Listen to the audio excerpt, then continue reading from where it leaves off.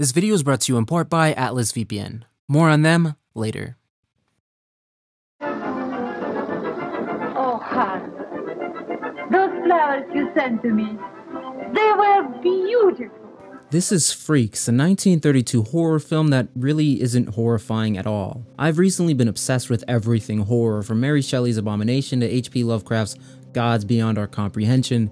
There's something about horror that fascinates me. For the longest time, I wasn't sure what it was. I wasn't interested in knowing why I liked the wave of dread stories like Lovecraft's Shadow over Innsmouth left me in. A story where the narrator travels to the unwelcoming seaport town Innsmouth and encounters a religious cult, the Esoteric Order of Dagon, whose followers worship the sea god Dagon and mate with fish humanoids. Their offspring begin life as humans and slowly transform into fish humanoids themselves and find their way back to the lair of the Deep Ones. Our narrator, in a chase for his life, encounters waves of the disturbing malformed monsters, but the most chilling part of the story is the discovery the narrator is a fish humanoid himself, and near the end of the story is filled with an awakened desire to return to the depths of the sea. While plagued with bigotry, I can't help but love this novella, and in the final pages that read like a perverted coming of age story, it got me thinking, what makes something horrifying? Why is Freaks, a film about a traveling circus who band together to fight those who ridicule and exploit them, considered a horror? I want to explore this question as I think its answer will help uncover what to do when the dread of your predicament is unavoidable. I am making this movie in part to expose bigotry as a fake, and as a response to Don't Look Up, a cosmic horror to rival anything Lovecraft wrote. First, we have to define the genre, and trust me, it'll be interesting. I wouldn't have made this movie otherwise. We'll begin our dissection of the horror genre in 1986 with The Fly, a horror classic where a scientist, Seth Brundle, on the brink of a revolutionary teleportation device becomes genetically mutated with a fly. The viewing after this inciting incident consists of his metamorphosis. The sight of a man morphing into a fly is enough to leave anyone crawling in their own skin. Brundle goes through the stages of grief alongside his seemingly endless modification until finally he comes to acceptance, naming himself Brundlefly. I'm becoming Brundlefly. Shortly before the film's end, we watch as Brundlefly enters the final stage of his transformation and becomes a monster neither human nor fly, but some interstitial, deformed combination of the two. The Fly perfectly embodies what Noel Carroll termed art horror. Art horror is a genre that should produce the emotional state coined as art horror, similar to the suspense genre, which refers to films that should produce the emotional state of suspense. Thus, art horror is both a subgenre and an emotional state. The emotional state of art horror is a mix of terror and disgust brought on by the presence of nature-bending monsters. As described by Carroll, the monsters that produce the state of art horror are threatening and impure, threatening in part because of their impurity. The monster's impurity stems from their contradictory nature, from their impossibility, from their interstitial position in between the spaces of our reality, something like a Brundlefly. Simultaneously a man and a fly, but in reality is neither, and thus is impure. How to tell whether a monster is an art horror monster or just a normal occurrence in the fictionalized world is based on whether or not they're supposed to draw out the emotional state of art horror. Another key element to the horror genre, how characters within the story respond to the monsters, serving as representations for the emotions hoped to be drawn from the audience. Using the characters on screen as an anchor, we can bring objectivity to a medium that produces subjective emotional responses. For example, in Lord of the Rings, orcs, while monsters, are accepted creatures within the fantasy, contrasted by the aliens in Ridley Scott's Alien, which are a new culturally threatening phenomenon.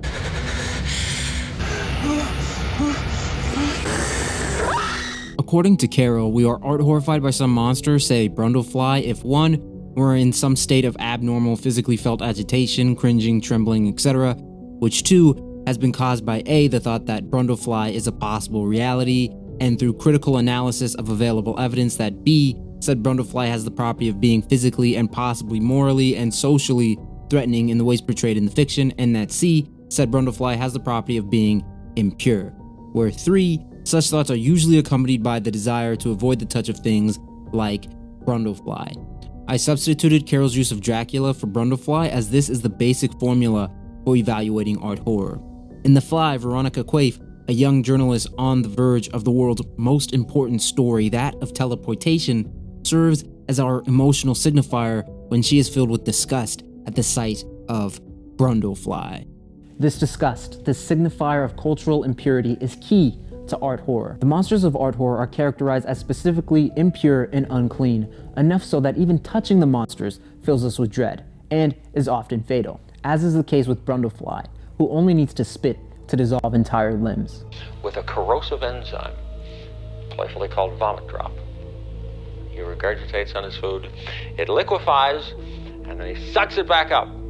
Carroll notes that the impurity of art horror's monsters stem from the fact that they are interstitial and cross the boundaries of the deep categories of a cultural conceptual scheme, and thus is a threat to common knowledge. Things like the living dead, a merman, or a Brundlefly. This is the crucial difference between art horror and what Carroll referred to as natural horror. While something like Silence of the Lambs is typically considered horror, it's what Carroll referred to as natural horror, something that has formal reality in the Descartes sense. Its idea is instantiated by something that exists. Whereas monsters like Brundlefly are objectively realities, object reality being concepts that exist in thought alone without a commitment to their existence. Serial killers are a very much socially understood phenomenon that wouldn't bring about the specific emotion of art horror.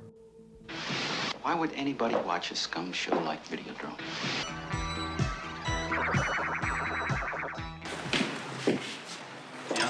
Yes. David Cronenberg's Videodrome raised a multitude of questions. One of those being, how will we protect ourselves from media, from being consumed by media itself? Yes, content today is advertisements, but you are now the content.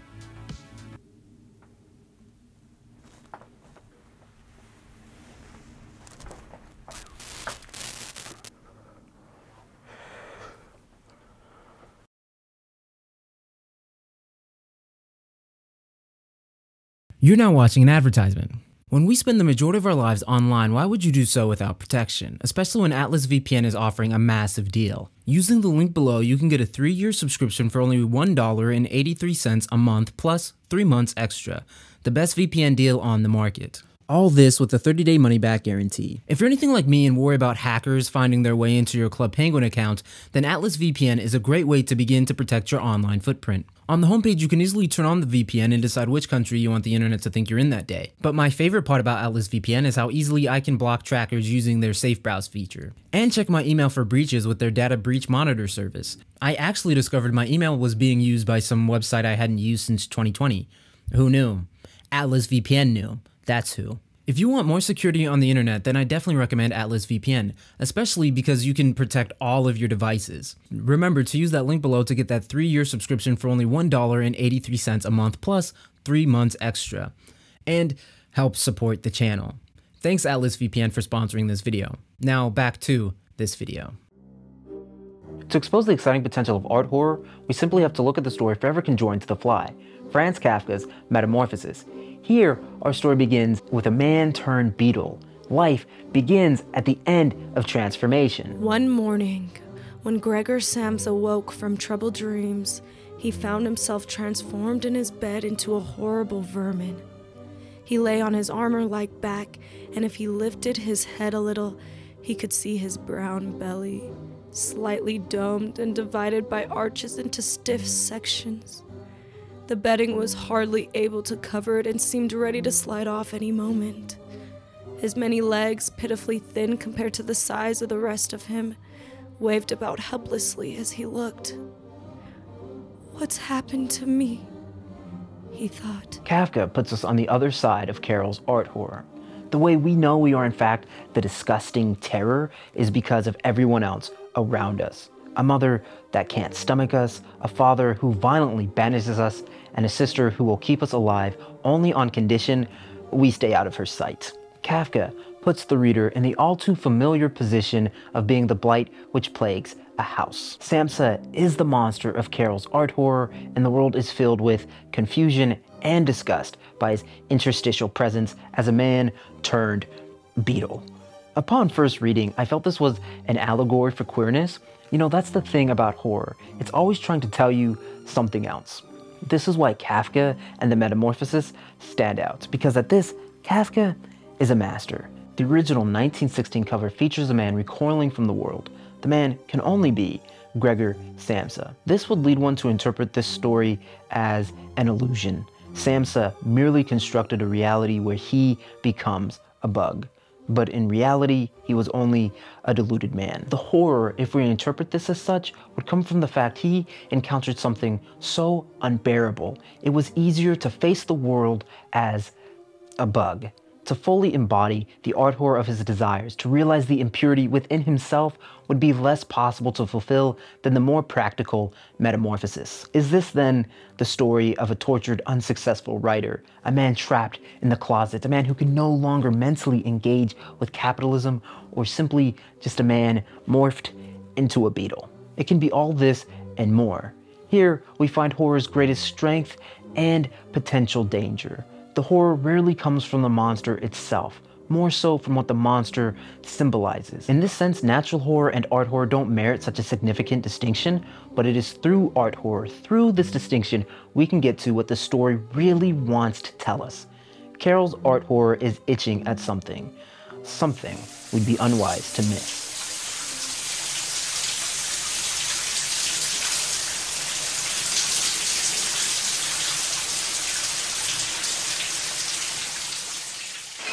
Alfred Hitchcock's Psycho is a perfect example of cinema subverting Carroll's art horror. Psycho is rife with disturbing violence that at first glance is ordinary, natural horror, until in the climax we discover the murderer was dead the whole time. The film concludes by trying to piece together an understanding of the phenomena of Norman Bates being possessed by his mother. His mother was a clinging, demanding woman. And for years, the two of them lived as if there was no one else in the world. But Bates is possessed nonetheless. Carroll called Psycho a tale of terror, leaving this film and others like it out of art horror, because though eerie and scary, achieve their harassing effects by exploring extreme psychological phenomena that are all too human. Others have gone so far as to call it a thriller, it's interesting, possession in the sense of The Exorcist or even Alien fits perfectly into art horror, but the possession of Psycho stands awkwardly on the edge, existing in between natural horror, thriller, and art horror. If we were to categorize Psycho using the emotions on screen as a guide, then would it not be art horror? The piercing scream echoed at the sight of Norman's not so dead, dead mother. The woman who is living in her son forces Sarah Harkins to recoil in disgust and horrifying surprise. And is Mrs. Bates not The Walking Dead? This would seem to fit nicely into art horror, but no one else on screen is art horrified by the idea of this woman coming back from the dead through her son. In fact, the majority of people, them being men, are quite calm throughout the whole movie, contrasted by Sarah Hankins, who is frantically searching for her sister. In fact, the only people scared in this film are the women. This is most likely why it can be considered a thriller. If it scares men, you have horror. If it scares women, you have a thrill. Still, Carroll is right. Psycho is not art horror, even though upon Sarah's first encounter, she is art horrified by the dead yet living mother. We understand, at least the experts do, the unusual nature of Norman's possession. To classify Psycho as an art horror would be to dehumanize a man suffering from intense mental illness, subsequently relegating him to monsterhood. Despite his crimes, Psycho allows Norman to remain human.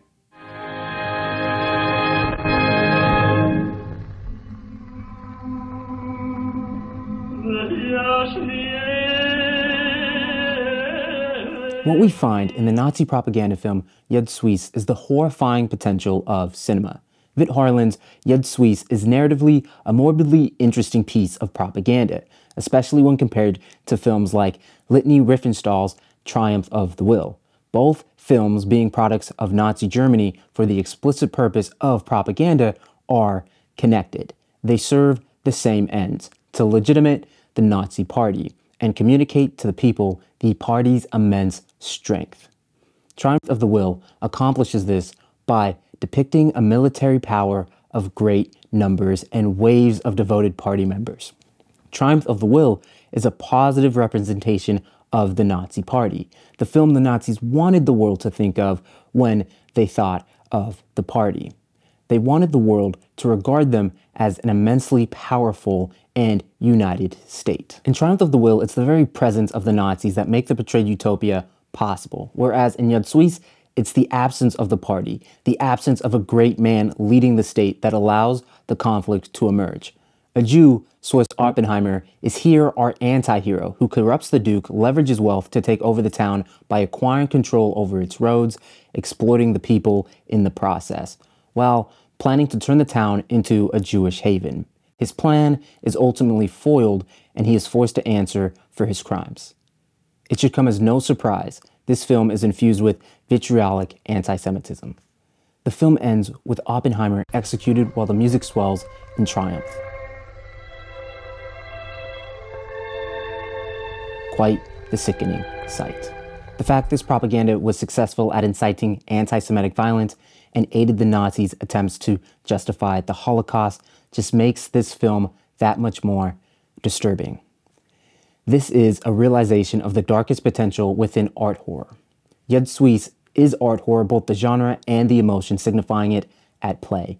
While typically considered a drama, I'd argue that this film is art horror in its rawest form, akin to films such as Don Siegel's Invasion of the Body Snatchers.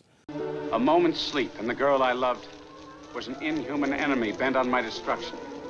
That moment's sleep was death to Becky's soul, just as it had been for Jack and Teddy and Dan Kaufman and all the rest.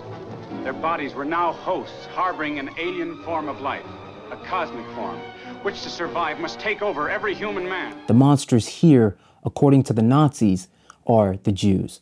Not Jewish people, but the Nazis' mythological construction. And only murder could free the people from Oppenheimer's treachery. The film's intended message is unmissable. Without the Nazi Party, you too will fall prey to Jewish treachery. A necessary part of art horror is the denaturalization of the subject, which gets its impurity and disgust from its unnatural interstitial effect, which violates cultural taboos. And in Jud Süß, we watch as Oppenheimer is stripped of his humanity and subsumed in art horror monstrosity.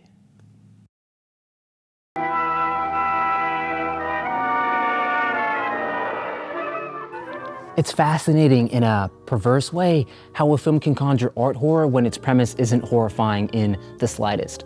Tod Browning's 1932 career-ending Freaks is a story of a traveling French circus. The main conflict is a man with dwarfism being exploited by an attractive acrobat, Cleopatra. The movie's poster boldly asks the question, can a full-grown woman truly love a Freaks interests me because of its miscategorization into the horror genre.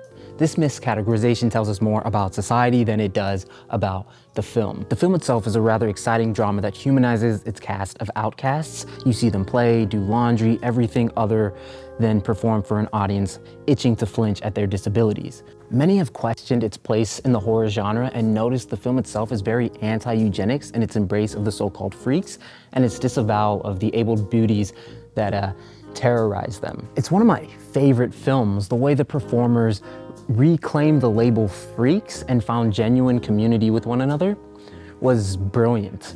Freaks doesn't tell us much without the context of the ableist society that rejected it. The film was banned from the UK for 31 years and pulled from theaters all across America. The studio ordered massive cuts, and not to mention, it could only be marketed as a horror and even as a horror, people couldn't stomach the film. While this is a feature far from being an art horror, that is the emotion it conjured in its audience, despite a decent effort from the film after massive cuts to humanize people that society relegated to the class freaks. It couldn't escape the reality of the world's ableist bigotry. In the reaction to this film, we find the same dehumanizing, denaturalizing element crucial to art horror, the one also at play in Jud Süß. This is what fascinates me about art horror its reactionary potential. Art horror's distinction between formal and objective reality is crucial here. The monsters of art horror and their threatening presence are imaginary, only real in the context of the fiction, but they can still horrify us. They uh, art horrify us. Uh, as the monsters of art horror have no formal reality, the same is true of the anti Semitic construction of the Jew, the racist construction of the blacks, and the transphobic image of trans people, and so on and so on. What do I mean by this? Here, it's crucial to be very specific, to reject the framing, to reject the framing of the question whether it's about blacks, Jews, and so on. It's not enough to say blacks aren't more violent or Jews didn't exploit Germans, as stated by Zizek in The Sublime Object of Ideology. The proper answer to anti-Semitism is therefore not Jews are really not like that, but the anti-Semitic idea of Jew has nothing to do with Jews. The ideological figure of a Jew is a way to stitch up the inconsistency of our own ideological system. It's a case that even if the anti Semite is right, of course they're not, but even if they were, they'd still be wrong, as Zizek illustrates here. Let's take what Nazis claimed about the Jews. I think we have to go to the end here and claim, even if, okay, not all, I wouldn't go so far, but even if some of what they claimed was true, nonetheless, anti Semitism was totally, totally a lie, a fake. Why? I think that that's my general point that the moment you even think about uh, endorsing, accepting discussion at this level, like for example, let's say, I don't know, I'm an I'm a Nazi, you are an honest liberal, and I say Jews seduce our young girls, Jews exploit us, and I say this. You say, no, this is a lie. Then comes a naive university neutral idiot and says, oh, it's difficult. Let's take an objective look at it. You send your soul to the devil into this. Because let's be clear, the result will be unambiguous. Yes, the Nazis exaggerated it, but not quite. Because wait a minute, now let's say something horrible. Many Jews were also rich in Germany. So yes, they definitely exploited Germans. On the other hand, I hope so. It's normal. I think that some Jews definitely probably were seducing German girls. Why not? You know what I mean? Why is this false? Because the true, uh, how to put it, uh, the Nazis here, even if it were to be true, but it wasn't, of course, they lied in the guise of truth. Because the true question is not, is it true what they are claiming about the Jews? The true question is why, in order to sustain their, their politics, they need this fantasy of the Jew. Through art horror, we can grasp an understanding of bigotry as the fake that it is art horror, the language of fear of the impure and unclean monsters that violate cultural norms is incredibly effective propaganda. In The Fly, Seth Brundle, at his own expense, made a discovery arguably more revolutionary than Einstein's theory of relativity, not only through inventing teleportation, but by merging man and fly on a genetic level. In the world of the fiction, this wasn't a violation of nature, such as impossible, but an expansion of what was possible within it. Since the Enlightenment, the progress of science has been exciting and chased after, bringing humans to the moon as well as bringing us closer to utter annihilation. It's quite a worrisome predicament with progress as a concept being politicized. And so we, we signed a bill called uh, Parents' Rights in Education, which said, you know, we are not going to be injecting things like gender ideology into our elementary schools. We're not going to be. This is Governor of Florida Ron DeSantis reminding the people of his accomplishments in passing the Parental Rights in Education bill, better known as the Don't Say Gay bill.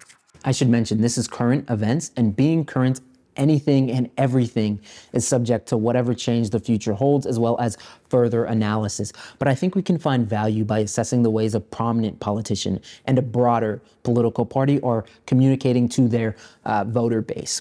I think looking at what legislation they're advocating for will be just as valuable. This is from the bill itself. Excuse the long quote, but it's not often nowadays. A law so obviously calls for systematic uh, discrimination. The district school board, acting as a board, shall exercise all powers and perform all duties listed below. The third duty states, quote, classroom instruction by school personnel or third parties on sexual orientation or gender identity may not occur in kindergarten through grade three or in a manner that is not age appropriate or developmentally appropriate for students in accordance with state standards. The bill goes on to outline what happens when a school fails to address a parent's concern. Quote, if a concern is not resolved by the school district, a parent may, two, bring action against the school district to obtain a declaratory judgment that the school district procedure or practice violates this paragraph and seek injunctive relief. A court may award damages and shall award reasonable attorney fees and court costs to a parent who receives declaratory or injunctive relief. Okay, what does this mean? Uh, classroom instruction on sexual orientation or gender identity is not allowed at all until fourth grade. And from there, it's about whether or not the material is age appropriate, which is purely a subjective measurement made by each individual parent. Uh, is using non-gendered pronouns like their, them allowed uh, up to the parent.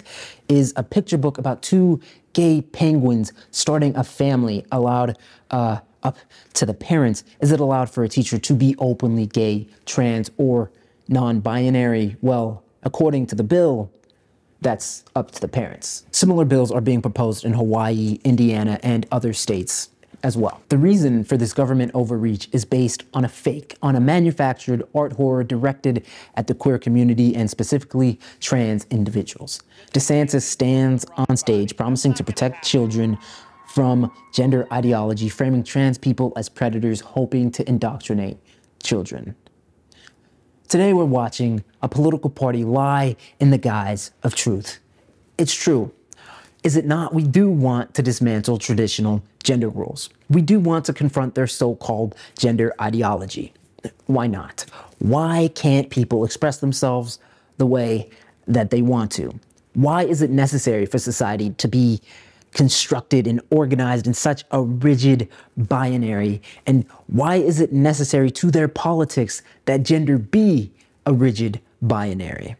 Uh, this is genuinely concerning, especially because there is no search for truth, no want for understanding, just a play for political power.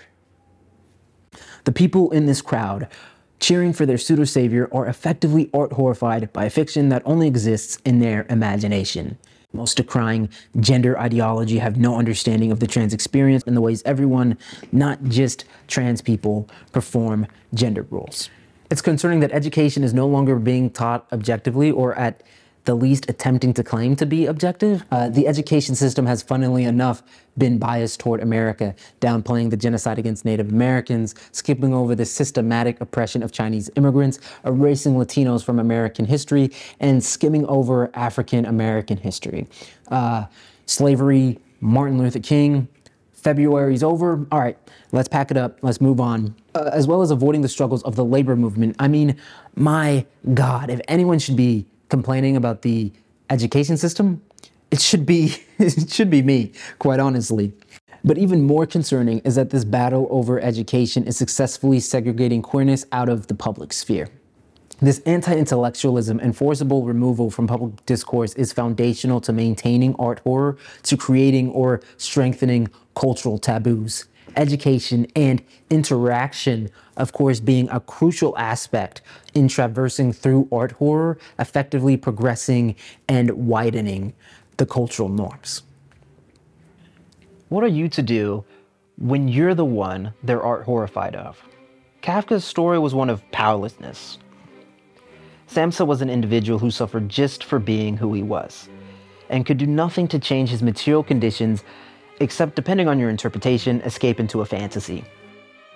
It's what makes it so applicable to so many today. Whether a worker, a person with disabilities, a racial minority, a queer person, or someone worried about climate change. Uh, this feeling of hopelessness, overwhelming hopelessness, is all too familiar.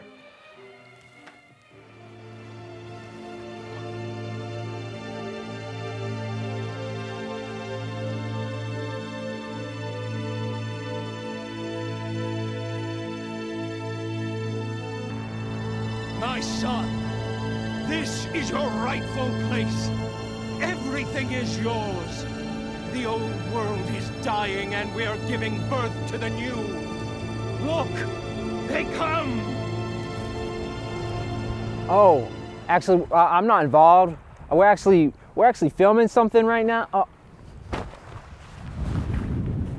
Uh, how does one fit into a world that won't accept them? What are you to do when you're the one they're art horrified of? Dan Gildark's underappreciated Cthulhu poses this question twice. Cthulhu is a 2007 film adapted from Lovecraft's story The Shadow over Innsmouth. The film deviates from the source material almost immediately with Russell, our lead, waking to the news that his mother is dead. We watch as he travels back to his childhood town, Rivermouth, and through his childhood memories of being ostracized from the town for his sexuality, as he is a gay man. The film did many things that interest me on this little road trip where it begins to capture the perverted coming of age essence laid into the source material, as well as sprinkle in information of the current ecological crisis, pulling in the allegorical elements from much of Lovecraft's work. Cool weather in the west is the envy of folks on the rest of the continent where only tropical storms have provided relief from three weeks of temperatures in the upper 90s. This adaptation feels, for me, to be the most interesting Lovecraft adaptation I've seen in cinema. It's not my favorite film, nor particularly riveting, but much of Lovecraft's story isn't particularly enjoyable for the majority of it either. It's not until the final reveal that the story becomes a personal favorite, and all the dialogue and racism I had to suffer through becomes worth it. Yes, the chase scene is riveting, and the art horrifying monsters are fantastically unnerving, but the story doesn't become a, a, must read until the final pages as you soak in the awakening of the dormant truth. The way art horror is presented, then subverted, is surprisingly clever considering the story came from a bigot. What I love about Lovecraftian horror and broadly the philosophy of cosmicism he fathered is it's not so much that life in itself is meaningless, but that we are helpless to impact the universe and live only by its grace, or rather, its indifference. It utilizes art horror, but it moves beyond it at the same time and finds a home more comfortably with what Carroll himself coined art dread. The classification for such tales of dread where Carroll states the uncanny event which tops off such stories causes a sense of unease and awe, perhaps of momentary anxiety and foreboding. I would say this is why Lovecraft is unadaptable. Even when one can capture the art horror of Lovecraft, it seems they can't capture the all-encompassing dread his stories leave with the reader. This is where I think Gildark's adaptation excels. The film was able to strip back the story and find the core of Lovecraft and bring it to the forefront. Authors like New York Times bestselling N.K. Jemisin have noted Lovecraft's bigotry as unavoidable, and it is, as it's foundational to his work. And yet, there is something there to be reclaimed, as Jemisin did in The City We Became, or what was done in Cthulhu. The Shadow over Innsmouth, if adapted faithfully, would be quite the dull experience and would be played with Lovecraft's bigotry. Here, the film shreds this element of Lovecraft and turns it on its head, featuring a gay man as its lead. The discomfort emitting from the town at first just feels like homophobic bigotry. This conveys the feeling of the source material without needing to make the townfolk obvious fish humanoids. In fact, unlike the Stuart Gordon adaptation, Dagon which is arguably the more exciting film, Cthulhu provides an eerie Lovecraftian experience not rooted in art horror. Even the poor acting of some people in the town adds to the element of uncertain weirdness and makes sense as part of the narrative. The budget limitations of the film, I think, force this, as even the monsters, while there, are used sparingly to the point they could be imaginary. It all builds a sort of surreal daze of conflicted paranoia. Is Russell losing his grip or is there really something in the water?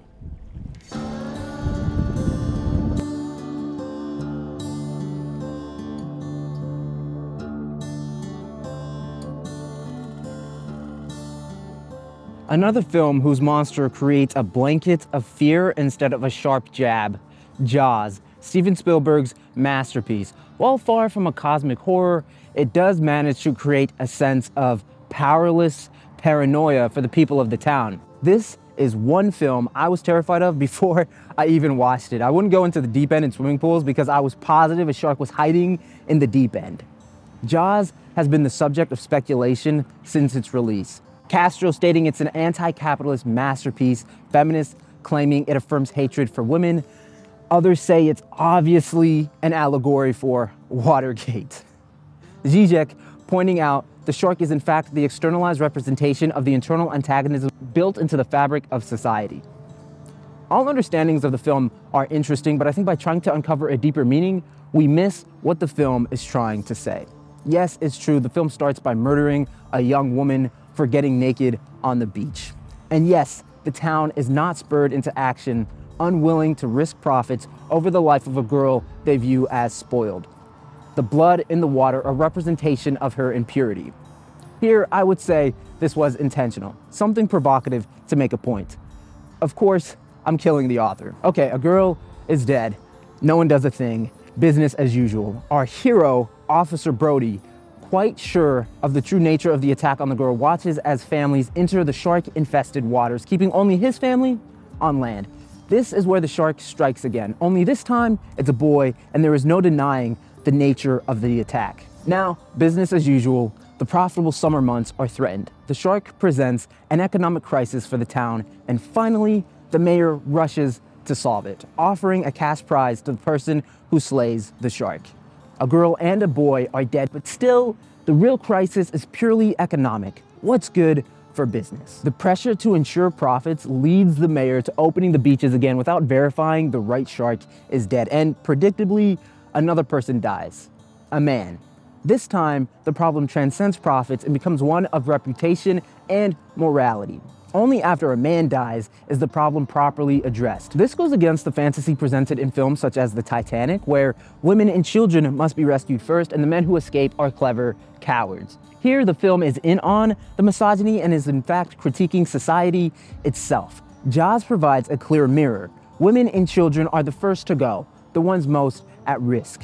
I don't mean to justify the misogyny or the way the, the brutal killing of the girl resonates with the audience, only to acknowledge our society today is as bad as the one portrayed in the fiction. It also recognizes our hero, Chief Martin Brody, is no hero at all, only an obedient lapdog of the law.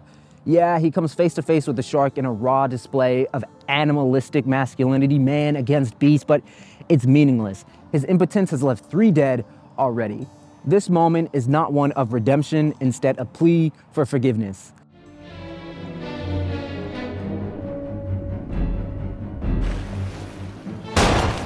The film does water itself down and presents itself as an adventure thriller with a nail-biting climax, as if uncomfortable with its own premise. But if we take Jaws literally, its horror stems from capitalism's inability to adequately respond to ecological crisis. Is this not the real horror of Jaws? The idea that perfectly good boats will stay docked on shore, collecting dust, while the profitable summer months just run on by. I think that was good.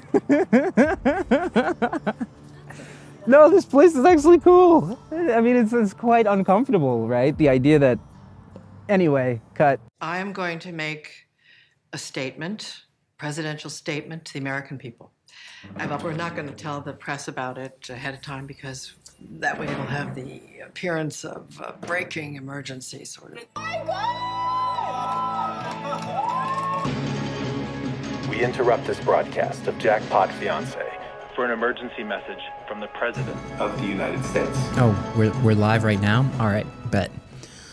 Hello, America. I think Truly Don't Look Up is a horror disguised as a satirical comedy. Similarly, Get Out, a comedy dressed up like a horror film. The terror was the wealthy white family and the odd, passive black folks' symptoms of their evil. Me and the homies were dying in the theater. I like to imagine Dr. Umar was in the writer's room. It only takes a little bit of white brainwashing to activate. The two genres are both quite good at disarming their audience and getting to the root of society. Here, I don't mean to be provocative by asking you to bend genres, but is Adam McKay's Don't Look Up not a cosmic horror? Scientists discover an otherworldly force, which means the inevitable death of every single being in existence. The final dramatic moments before impact is where the real unavoidable dread of their predicament settles in. They discovered the threat, warned the nations of the world, and yet no one did anything. It's not surprising that this film is meant to represent our current ecological crisis. I've been going back and forth on this film where at first I thought it fell into the trap of capitalist realism. You know, it's easier to imagine the end of the world than it is to imagine the end of capitalism. With capitalism now functioning more like a religious ideology that people accept dogmatically. The ideological inconsistencies of it are now subsumed into the natural order and all the resulting injustices are just the way it is. It's a very insidious way to preserve an acceptance of austerity, dramatic economic inequality, and to ensure that when faced with potential social reforms, private ownership of the means of production remains unchallenged. The late Mark Fisher in Capitalist Realism is There No Alternative describes capitalism as a zombie maker, a parasite converting the flesh of the living into dead labor. It's quite like the cosmic horror present in the Halo games, where in the original trilogy, you are an augmented superhuman soldier, an emotionless shell protecting humanity from a fanatical religious alien faction known as the Covenant, who's trying to bring about ultimate destruction. In the process of an attempted rescue mission, you retrace the steps of missing UNSC troopers through an irregular environment, a place that feels almost like a ghost town. A Marine you do find is irrationally ranting and shoots at you without question, unable to remember even the famous hero of humanity. Stay back! You're not turning your brains out! Get away from me! It's when you play a recording left behind by the Marines you're looking for, you uncover the cosmic horror behind the missing troops and frightened Covenant. The Flood. A decayed, parasitic alien which devours the life of every being in the universe. In your struggle out of the facility, you fight former Covenant and UNSC Marines alike. The Flood indiscriminately consuming, then converting that which stood against it much like how even anti capitalist media is consumed and converted into commodities. Or the inverse, how Amazon, one of the worst offenders and ecological damages, is committing to climate pledge friendly products. Introducing Climate Pledge Friendly, Amazon's new way to easily discover more sustainable products approved by one of the 43 external certifications, including governmental agencies, nonprofits, and independent laboratories to help them distinguish more sustainable products. I could show you all the products that have the badge, like Tide Pods or the K Cup compatible teas and coffees that are unnecessarily more wasteful by design, and walk you through them undercounting their carbon footprint. But you know this. Google how to get the climate friendly badge, and my Amazon guy will tell you how to navigate the system and that the whole thing is a marketing gimmick. Through a third party uh, sustainability certification, there's multiple different certifications that are out there, and there's another page that I will share in a moment on where you can find those and what certifications your product might be eligible for. Additionally, Amazon has created their own certification called Compact by Design. But in a desperate way, the climate friendly badge, you know, the they know it's a farce yet they're doing it anyway, is reason to hope. What Fisher did in his book was mainly offer two ways to break through capitalist realism education and bureaucracy. He highlights climate change as a contested zone, already a site where politicization is being fought for. Fisher is definitely right, but I think climate change is a key issue to hold firm on.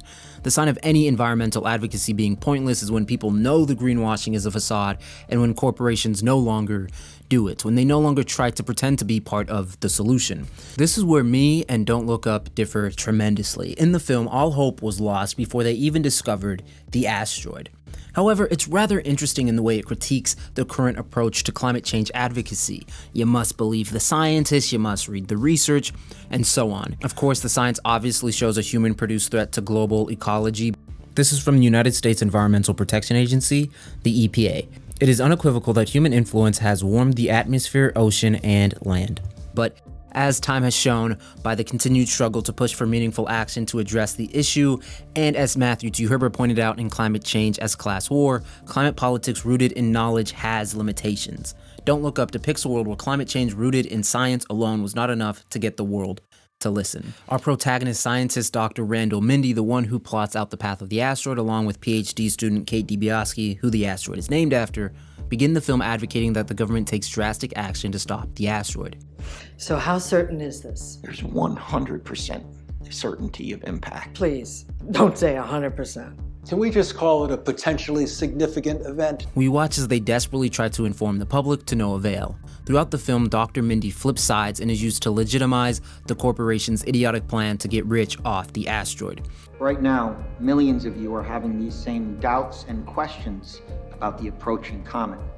That is why BASH Cellular, in conjunction with the United States government, is creating a new hotline, free of charge, to to answer all of your questions. He, once an ally, is now filled with nothing but the will of capital. He's been consumed by the flood.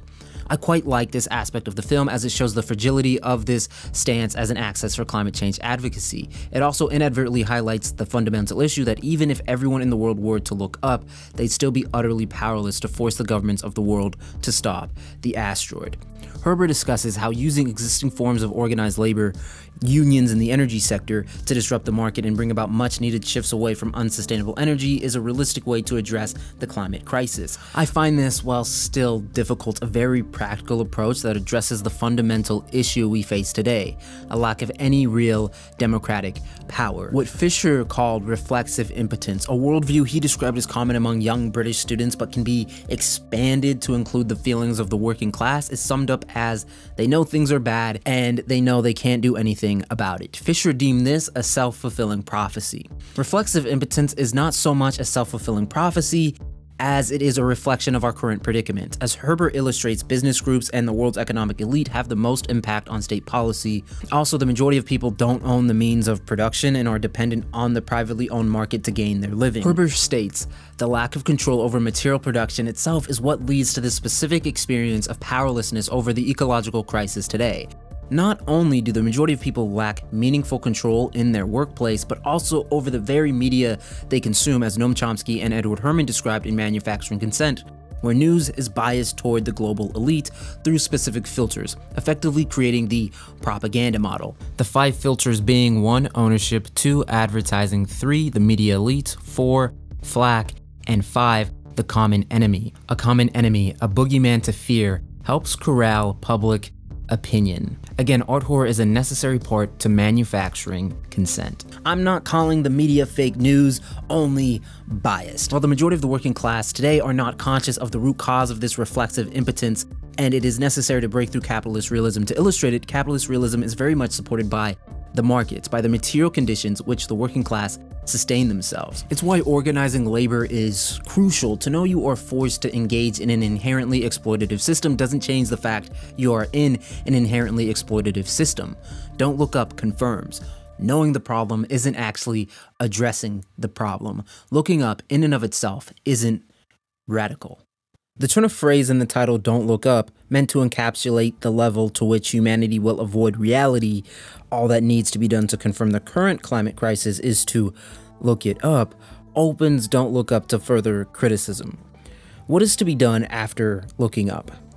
I'm, I'm looking I'm, I'm looking at it right now too. It's unbelievable. It's it's it's horrific and it's and it's beautiful at the same time. This is the question the film never meaningfully answers. Looking up to the stars morphs into more of a wasteful luxury than anything else. Jordan Peele's Nope, while about something completely unrelated, seems to be the perfect answer to the outrage in Don't Look Up, inspired by those who refuse to just look up. I'll keep this brief. I don't want to spoil this film, even though a good film can't really be spoiled, even if you know the ending. That's my uh, that's probably going to be my one hot take for this video. Here, Jupe, the successful entrepreneur, is profiting from the very action of looking up. And ultimately this, what in Don't Look Up seems to be a radical thing to do, is not only a form of passivity, but leads to avoidable death. Yes, looking up was necessary in identifying the problem, but the effective response becomes an intentional avoidance while actively combating the problem.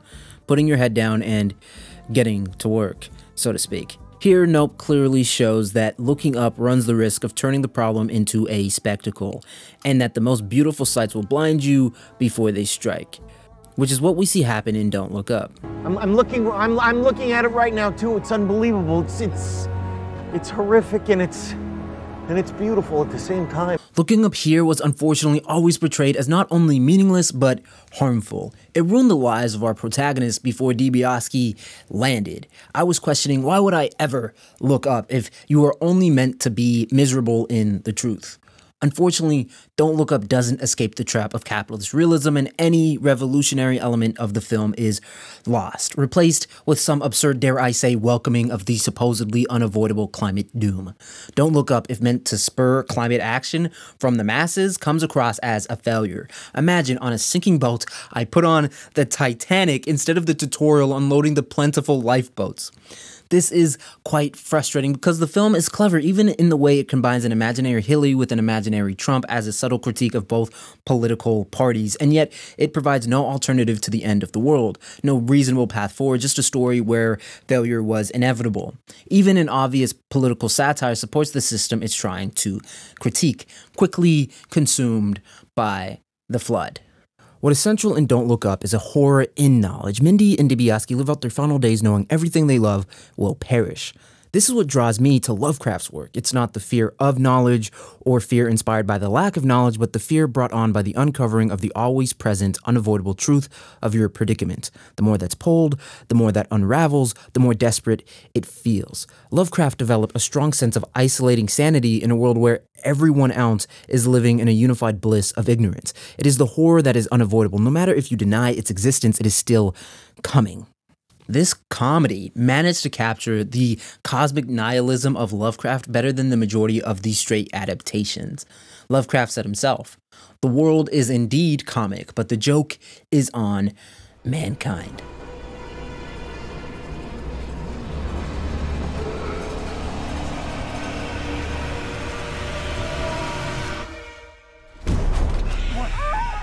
Lovecraft's Color Out of Space, a story where a meteorite lands in some rural farmer's yard and begins to seep a color into the trees, the soil, and the well the family drinks from, leaves the reader with an eerie sense of dread. It's a slow yet nail biting story as the color changes everything exposed to its alien shade. The family, the gardeners, are tied to the land and can't grow edible crops, their livestock dies or runs away, they are unable to sell the land for more prosperous pastures if they even had the desire to. As they drown in the color, they lose themselves as one by one their sanity either escapes them or they're lost to the glow. This is different from the shadow over Innsmouth partly as you know the ending as soon as you begin their tale, and yet the most terrifying part is the fact it's still spreading. Slowly, the color is inching its way through the town and consuming everything in its path. While not as dramatic as Don't Look Up's Asteroid Dibiasky, it spells the same ending. Though there is no moment of collective recognition or a chance to choose your final moments, just a subtle devouring of everything. This is a very defeatist, pessimistic view of the world, and it's this that underpins capitalist realism. It's a strange comfort I feel in stories like this, like an absurd embrace of hopelessness. I've come to see capitalist realism as pervasive not only because of our material conditions, but also because of its comfort. It's easier to imagine the end of the world than to imagine the end of capitalism, is quite literal. To confront capitalist realism internally is a violent process, as tearing down a fantasy always is. In this view, both art horror and cosmic horror would seem to be ineffective approaches to the horror genre if your goal is to challenge the status quo, but this misses the radical potency hidden in both of these subgenres. Here, The Fly is quite remarkable. Veronica, our emotional signifier, humanizes Brundlefly until he is no longer recognizably human. God. Oh, God. Seth. You look so pretty. What'll happen? She is art horrified by his presence, yet she still cares for him. This intentional confrontation with art horror is necessary to overcome it.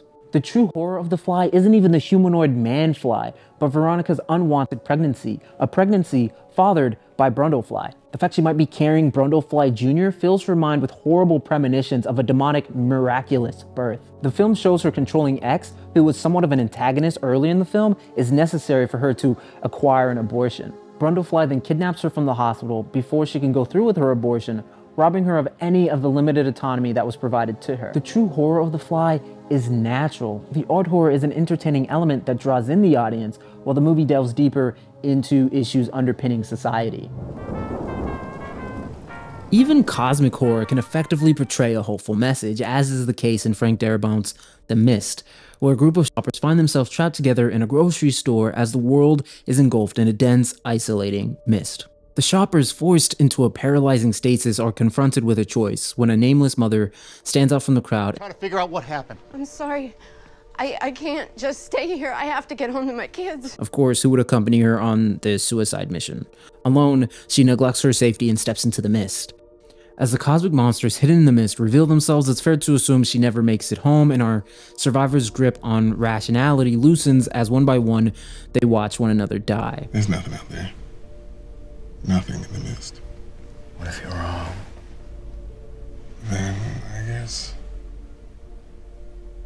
the joke would be on me. After all. This line for me is notable. This tells us the nature of the events to come and the entire purpose of this film. The Mist is playing a cruel, practical joke, and this moment is nothing more than a red herring, a bluff, disguising who the joke is really on. The film makes no attempt at hiding its real terror, foreshadowing the spread of religious fanaticism as the survivors now divided express that their fear of their neighbors is greater than the monsters in the mist. She's preaching to him right now. By noon, she'll have four more. By tomorrow night, when those things come back, she'll have a congregation, and then we can start worrying about who she's gonna sacrifice to make it all better. Our main protagonist, David Drayton, and his group rationalizes just human nature to justify terror while afraid. Eventually, the film seemingly confirms this as the emerging cult begins to sacrifice people to the monster. This echoes themes similar to William Golding's Lord of the Flies, where, you know, boys stranded on an island start killing each other out of sadistic enjoyment. This would be an improper reading of The Mist. In Lord of the Flies, Golding tells a story of how evil is an innate characteristic of humanity, represented in the deserted boys who once left to their own devices without any authority, a proper hierarchy, quickly commit acts of cruel, meaningless violence for the sake of simple enjoyment. The Lord of the Flies is unashamedly pro-hierarchy, the systems of power, and so on, you know, law and order. The Mist is, and I know this is controversial, quite the opposite. The cause for the entire conflict is laid at the feet of the military. The blind faith, the passive acceptance the town had toward the government is thrown directly in their face through cosmic horrors and the bodies of their neighbors. It was their trust in law and order, the status quo, the hegemonic state that the film is assaulting. When faced with the impossible art horrors of cosmic nihilism, the film also shows how quickly religious ideology can emerge as a comforting explanation and what horrors will be permitted in the desire for safety. This is not human nature, but the nature of ideology. It shields itself from interpretation, quietly camouflaging itself as part of the natural order, as is the case with capitalist realism. It's much clearer in the book, but this town was already susceptible to religious fanaticism before the seams of existence literally tore open. It's not till the last five minutes of the film that it cements itself as truly revolutionary. Unfortunately, Stephen King has sentenced anyone who spoils the last five minutes to uh, hang from the neck until they're dead, so uh, let's wrap this up, folks. Let's wrap this up.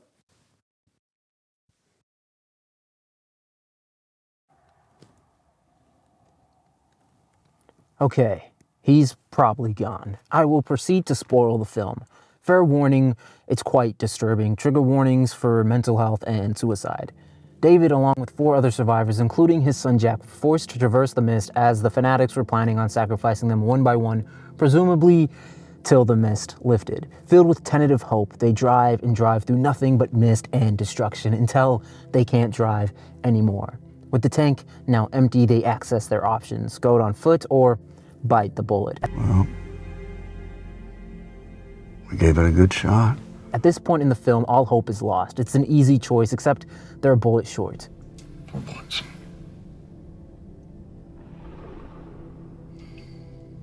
There's five of us. David, the unelected leader, freely gives up his chance at a quick and painless death. We watch in horrible misery as he sobs uncontrollably, exits the car, and demands death, when suddenly the mist clears. If I'm being honest, as soon as the mist cleared, I laughed in uncontrollable horror. Oh my god, this was the funniest thing I've seen all 2022, and at the same time, the most depressing. The unnamed mother even glances defiantly from the comfort of the heavily protected truck holding her children alive and well. The film rewarded her selfless devotion to those she loved and her suicidal hope in the face of danger. The film was in all of its cosmic horror playing a joke on the audience through David. The message is clear. Even when all hope is lost, you mustn't give up hope because all it might take is a minute for the mist to clear. This moment of cruel comedy managed to capture the cosmic nihilism of Lovecraft better than the majority of straight adaptations, while simultaneously defying it. I do consider The Mist a radical film today because hope is a necessity to any social movement. No story depicts the importance of hope quite like George Lucas's A New Hope, the film which gave birth to the Star Wars universe. Lucas has been open about the political significance of this film, a group of rebels fighting for their independence against a hegemonic intergalactic superpower with weapons of mass destruction, it's it's hard to miss, quite frankly. What's central in the film is the rebels' last hope, the plans to the Death Star, the Empire's planet killer. When stories talk about hope, it often reads as vapid. James McTeigue's V for Vendetta comes to mind, where the way to overcome fascism is to put on a mask, join hands, and watch a building burn. No one will ever forget that night and what it meant for this country.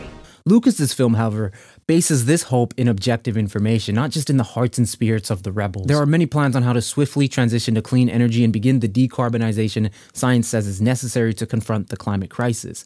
It's not the most riveting topic for a YouTube video, but I personally found Herber's path forward compelling, fixing our attention on unions specifically in the electricity sector as it's already one of the most unionized sectors in the United States. And electrical workers possess literal power over the economy as a whole. Unions are a great tool in providing information to workers and consumers alike on why workers leading the transition to green energy is in their best interest, as green capitalism, private, ununionized capital, is dominating that scene currently. Again, accurate information is everything. They who have put out the people's eyes reproach them for their blindness. A John Milton quote that this tragic and admittedly humorous ending to the myth screams into my brain. No one can blame David for jumping the gun here. He was effectively blind. That's what makes this joke so tragic. With the limited information available to him, he made a noble choice. Today, it appears we have the opposite problem too much information, but it creates a similar uncertainty, the same hopeless mist. The media is privatized and an algorithm decides what and who we see, but now we can make and distribute information to an audience of potentially millions of people. Channels like Not Just Bikes and Climate Town specifically give me hope as well. Like, wow, other people find stuff like urban planning and electric stoves genuinely interesting and extremely important. I mean, that's that's awesome even recently, seeing workers in the UK strike in solidarity with one another made me genuinely hopeful. And of course, Christian Smalls and the push to unionize Amazon is great too. I tend to be a bit of a pessimist and think it's always important to strive for more. As Frantz Fanon said, the colonized subject is at constant risk of being disarmed by any sort of concession. And I do believe complacency is in part responsible for the mess we're in today. Uh, I also recognize killing hope isn't radical either. If all we can imagine is the end of the world, why would we look up? Thanks again to Atlas VPN. Make sure to check out that link below for a great deal on internet security. Wow, you actually finished my video. That is still something that blows my mind, and you're still watching me talk. So, thank you so much. You don't know how much I appreciate it, and it still like truly blows me away. I didn't actually think I'd ever get people who actually watched my videos and enjoyed talk hearing me out. I, I, think it's really awesome. Thank you. Thank you to my awesome patrons. I this this is crazy. I never thought I'd actually have like one of these endings where I have like people who support me scrolling next to me. Like it's just so awesome. Like thank you guys really made this possible. One thing that I'll say that I wish I made clear in the video, climate politics rooted in science is what got me interested in climate change. And I think it's really important, but I also think it's just super important to have a diversity of tactics. So like if it's if if it's not your cup of tea, well here's another reason to care about it. And I think in a situation where we can find so many ways to care about climate change for everyone, I think why not just diversify our approach so we can try to appeal to everybody, reach out across the aisle to anyone and everyone because I think it is just such an important issue. And it's one that I want to try to talk more about. I really want to try posting more regularly. Um, of course, they won't be all to this magnitude, but I think that's okay. I've, I've been thinking about this a lot, and it's so interesting because on the left, we ask you to comprehend and to grapple with these massive systemic issues and these ginormous systems that just feel um, feel like a Lovecraftian monster, honestly. They feel like an eldritch horror that you can't really even begin to meaningfully fight. Uh, and then and then we ask you to look at that and then say, well, anyway, here are the nuts and bolts and the screwdriver so you can try to piece your way out and try to change the system any way that you can, right?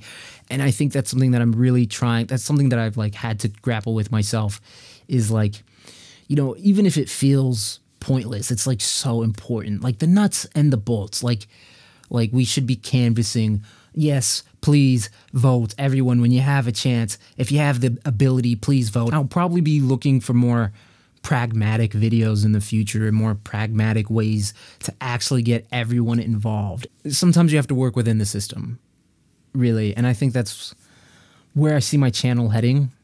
Anyway, I don't know why I went on this rant. But anyway, thank you so much again for watching. I hope you enjoyed the video. Please like and subscribe. Comment down below your thoughts. I'm sure you probably have many if you made it this far. Um, and consider supporting me on Patreon. Uh, my patrons are the only reason I'm able to make stuff like this happen. And also, like, thank you to Atlas VPN. Super cool you guys are sponsoring this video. Um, so yeah, if you're looking for a VPN, check them out, dude. They're pretty awesome.